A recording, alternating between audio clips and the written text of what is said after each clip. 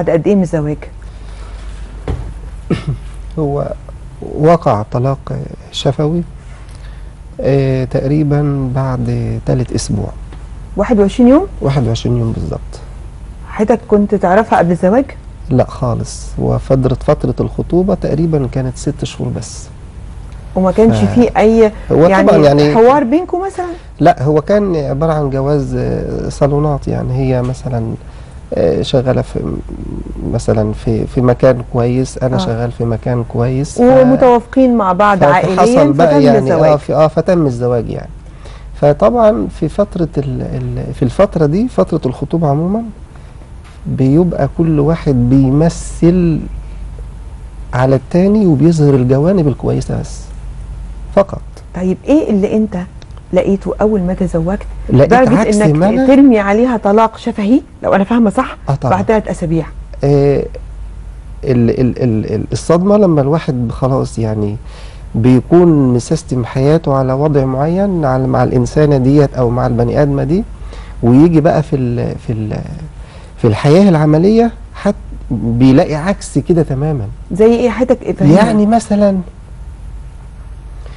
حالة الهدوء المصطنعة بين ال- ال- المخطوبة وال- والخاطب في, فترة الخطوبة فتفاجئ دي. إنها عصبية مثلا بعد الزواج؟ لا ده, ده اسمه هدوء مزيف أو اسمه كل واحد فينا بي بي بيحاول يطلع أك يعني أفضل ما فيه. يعني أنت شايف إنك أنت كمان طلعت أفضل ما فيك وما قلتلاش الحقيقة؟ لا أنا بتكلم كعموم لكن ده ك- عموماً. كعموما. لا أنا بتكلم عن حالتك. إنما حالتي أنا لا أنا لقيت فعلا إيه يعني عكس ما أنا كنت شايف تماما في ال- في فترة الخطوبة. برضو إيه عكس هو؟ إزاي يعني؟ في ال- هقول لحضرتك على حاجة. يعني مثلا إيه, إيه أنا مش عايز أدخل برضه في تفاصيل قوي. لا إدينا. عناوين. يعني ممكن تبقى عصبية في ممكن حاجة. تكون مش آه، مهتمية يعني- ببيتها. ممكن تكون آه، السائد لا. عندنا بنت مامتها. يعني آه، آه. حضرتك إدينا ده أنا. هقول لحضرتك على حاجة.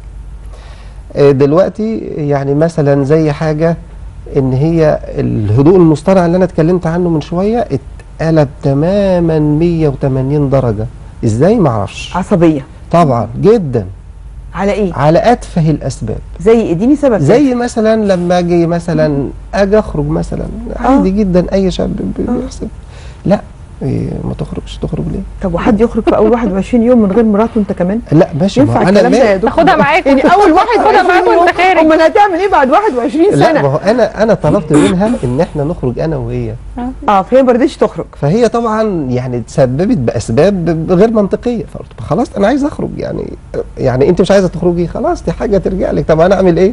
فلازم يكون في يعني تديني ال- ال- المساحة كده طب يعني. ادينا مثال تاني عشان الدكتور عارف يحاورك بس. ادينا حاجة كمان.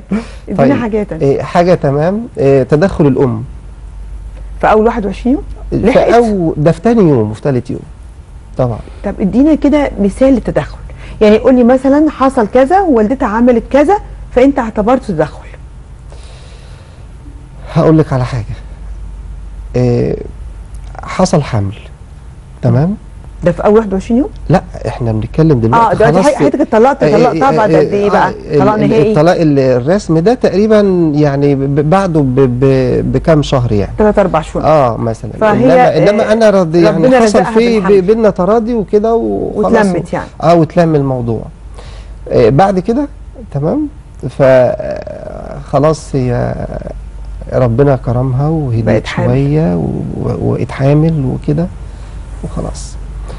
فربنا كرمها كمان ووضعت و من من هنا يعني الدكتور في في الحمل قال لها ما ما تاخديش مثلا أي وسيلة أو أي حاجة. آه. لأن مثلا حالتك ما ينفعش إن أنت تاخدي أي وسيلة. ليه ما هي حامل؟ لا ما خلاص أنا بتكلم بعد بقى في يعني؟ هي بعد الحمل وولدت وكده. آه. فإن هي ما تاخدش أي وسيلة. آه. تمام؟ آه. فالدكتور قال لها كده قال لها أنت ما ينفعش إن أنت تاخدي أي وسيلة دلوقتي خلاص هاتي ربنا يكرمك مثلا ب ب بح بحاجة تانية وخلاص. آه. و... ما يبقاش المنع من جانبها يعني. آه. ف... فطبعا هي آه، والدتها بقى تدخلت في الموضوع ده. قالت كفاية كفاية نصا كده. كفاية طفل واحد أو طفلة. كفاية طفلة واحدة. فطبعا آه، جيت وخليتها تروح تاخد ال- الوسيلة أو. كده معلش أنا هقطعك بس معانا طبعا طالما الدكتور محسن